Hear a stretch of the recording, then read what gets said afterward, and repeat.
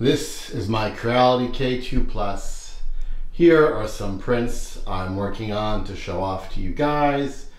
And I'm over here preparing a whole slew of different videos talking about some really, really, really fun stuff with the K2 Plus. Except at the moment, this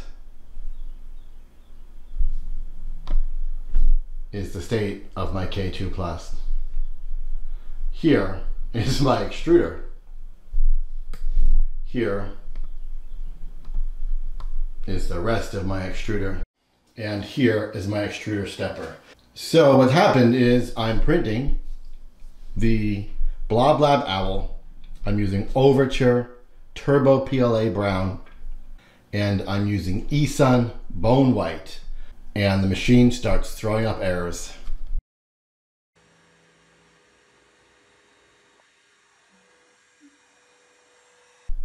So the first thing I try to do is get that filament out by getting the Bowden off.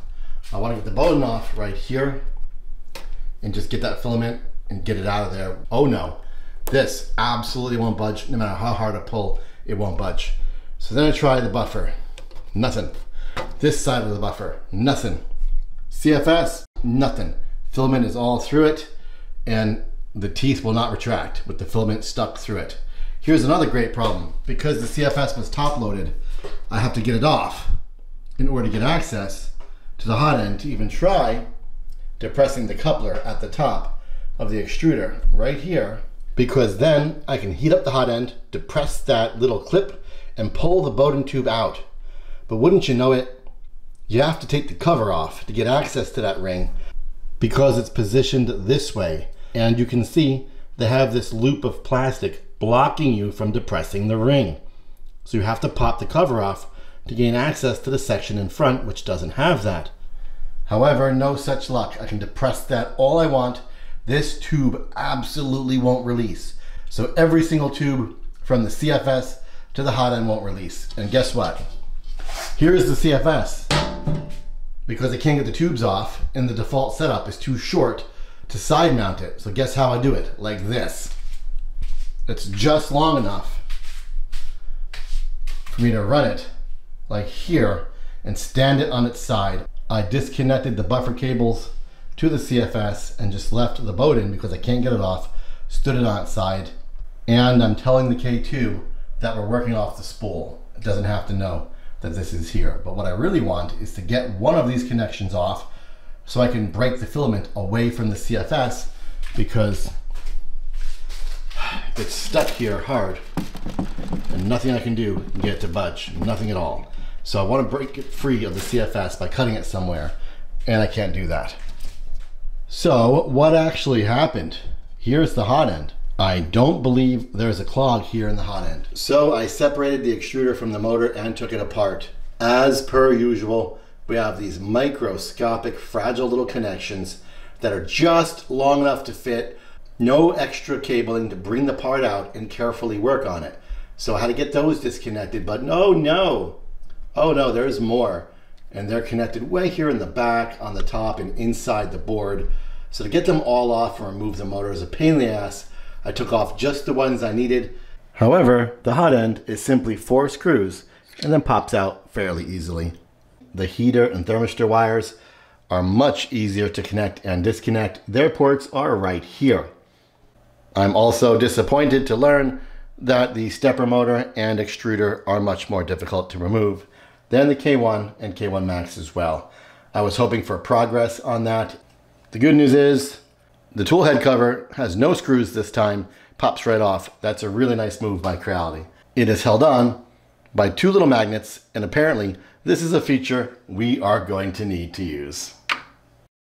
And here's what I'm looking at. This is the inside of the K2 Plus extruder. I got it apart. What I find interesting is there's a warning right here. Caution, spring may pop out. Well, isn't that nice? There appears to be a piece of filament broken up inside this little hole right here. Not entirely sure, I can't see it. Um, however, the filament is stuck. My plan hasn't been to do service videos right now. My plan has been to continue my series of informational videos. So rather than do service videos right now. I will attempt to get this thing back up and running as quickly as possible off camera so I may resume shooting those informational videos. And once I make some progress on that, we will take it all apart so you guys can learn how to do it too when this inevitably happens to you. I know some of you on the internet will turn this into a series of Creality Sucks comments. I have no interest in that. I hope to get past this and get my K2 back to working order. Should this turn into something that is a common problem, I hope that myself and the community can work with Creality to make revisions to resolve this problem, similar to things we resolved at the initial launch of the K1. All right, so here is the lever of the extruder, and here is the gear, and between there is where I said the filament was stuck. So I'm going to yank this off, I just did this off camera and like they said, the spring went flying. I attempted to reassemble it so I could show you how to remove it with the spring still on. So far, I have not been able to get the spring back on. I will learn to do this off camera and we will work on it together in a proper service video in the near future. However, do you see it? That's my jam. This blob is actually attached to the filament, so it can't go forward or back. The filament is anchored in place through this blob. Before you all lose your mind, I had this exact fail on my Bambu Lab P1S extruder. However, on my P1S extruder, it caused so much damage I had to replace the entire extruder. My K2, on the other hand, detected a problem and threw an error message, stopping the print, and it looks like in time for no damage to be done. I'm going to go ahead and get in here with clippers. and, and cut this blob off the end of the filament.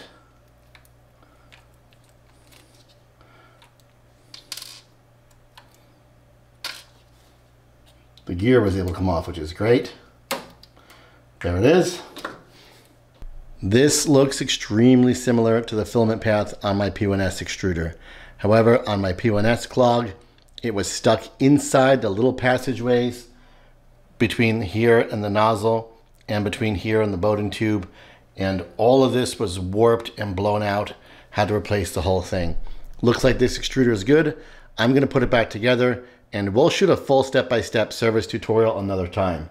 But for now, I do think my K2 Plus will be ready to go back in action. What caused this problem, I really can't say, but it is what it is. And I'm looking forward to getting back to work. With the blob removed, I'm going to attempt to depress the extruder coupler and remove the Bowden and the filament that's stuck in there.